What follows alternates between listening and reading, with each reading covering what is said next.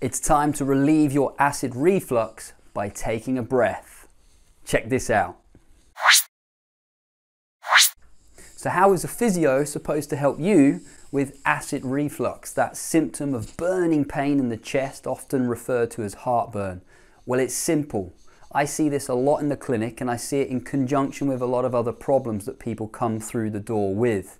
The same problems relating to a poor circulation and that poor circulation coming as a result of a suppressed diaphragm. Your diaphragm is your main breathing muscle. Your diaphragm is located at the bottom of your rib cage. It wraps all the way around on the inside of the rib cage. Now, the important part to bear in mind with your diaphragm is that it is also considered to be the floor of the heart and the ceiling of the stomach. That is, it divides the two sections of your thoracic cavity.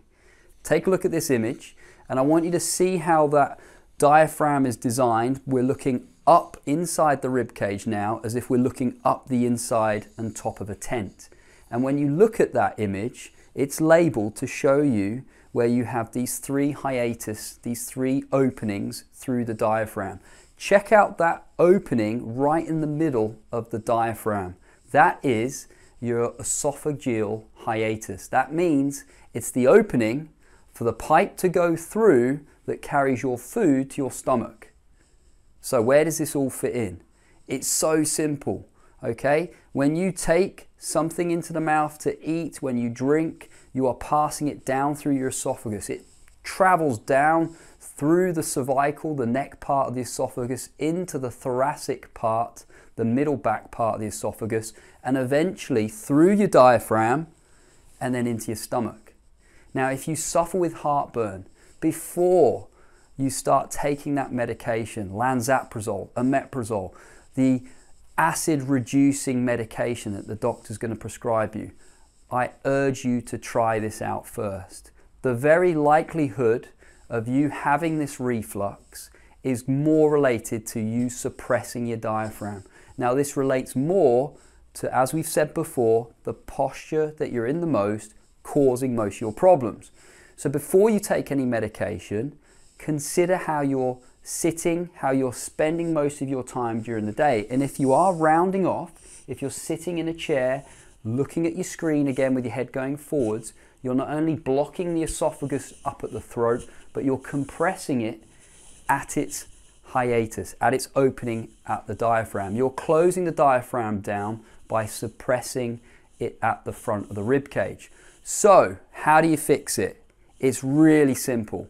All I want you to start practicing is some slow and low, deep abdominal breaths. Trickle the air in, breathe as slow as you can, and send that breath down into your stomach. In doing so, you're going to start to open up your rib cage. You're going to flare the ribs apart. You're going to work those intercostal muscles and stretch the ribs. But at the same time, you're going to ask your diaphragm to work a lot harder. As you work that diaphragm, more so than you will do on a regular basis, you're going to stretch it open. And as you stretch your diaphragm open, it takes the pressure off of those hiatuses, off of those openings. So it's not compressing your esophagus, it's not squeezing the esophagus, stopping the food going into the stomach and sending it back up, causing that heartburn you start to expand the chest as you were designed to do, as you used to do when you were a kid. So, really simple. If you want to try and fix your acid reflux symptoms, that feeling of burning in the throat, in the chest, the heartburn uh, symptom that you're getting, really simple, regular, deep abdominal breaths. Expand your rib cage. Give it a go. Let me know how you get on. If you're having any more problems with it and you want to ask, feel free. Details are along the bottom of the screen. See you in a bit.